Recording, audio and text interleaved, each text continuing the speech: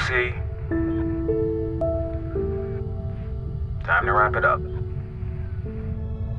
Just a few more minutes.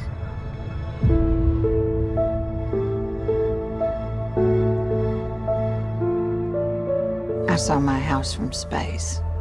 Not literally, but my life.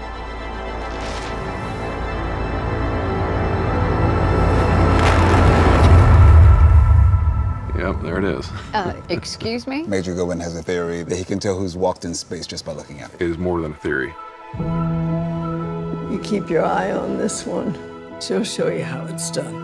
I'm so proud of you. Love you to the moon and back. You know Michael Collins, Of course, Apollo 11 I flew the command module for Neil and Buzz. so you know that after he dropped them, he circled the moon for hours.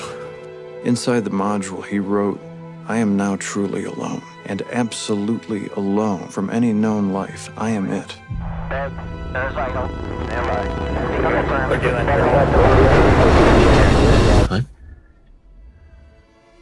Amen.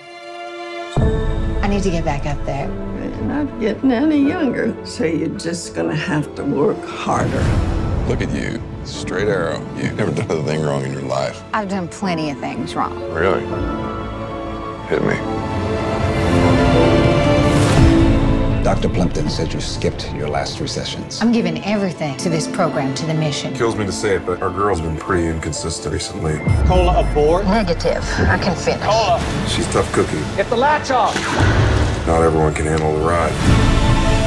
I'm pulling you out of the running for Orion. No. If I were a man, you would. Excuse me? I know what you're doing, but you're gonna lose because I'm a winner. This is not a drill, cadet. Grab your stuff. What are you doing? With her, I'm officially beginning to worry. You're acting so strange. I'm good. All systems go. What's it like up there?